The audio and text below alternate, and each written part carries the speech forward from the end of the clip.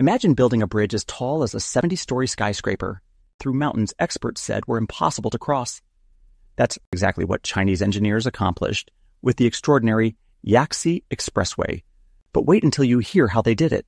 The Yaxi Expressway stands as one of humanity's most audacious engineering achievements, cutting through China's formidable mountain ranges with unprecedented precision. Engineers faced terrain so challenging that traditional construction methods proved useless, forcing them to pioneer new techniques.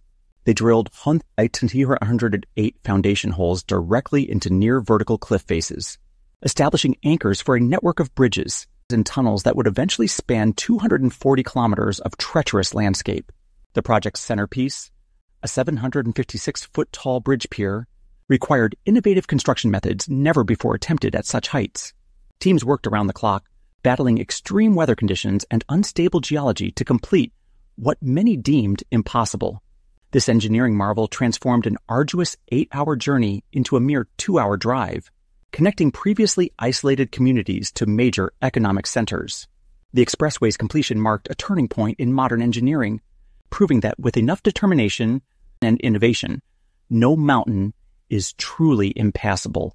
What other seemingly impossible engineering challenges do you think humanity will overcome in the next decade?